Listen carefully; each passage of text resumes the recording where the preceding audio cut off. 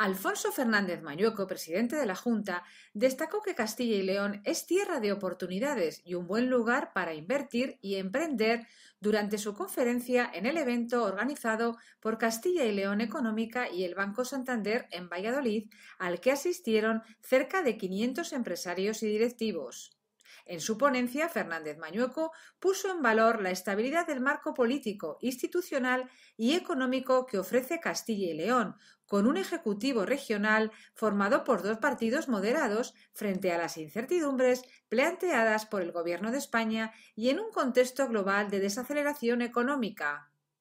El presidente de la Junta manifestó que cualquier proyecto empresarial viable que apueste por el talento, la innovación y la internacionalización tiene el apoyo del Gobierno regional. Sobre la política económica de la Junta, Fernández Mañueco explicó que se está impulsando un modelo productivo que potencie la innovación y la transformación digital, con el compromiso de una administración más ágil, una apuesta por la industria 4.0 y por llevar la banda ancha a todo el territorio de la comunidad autónoma.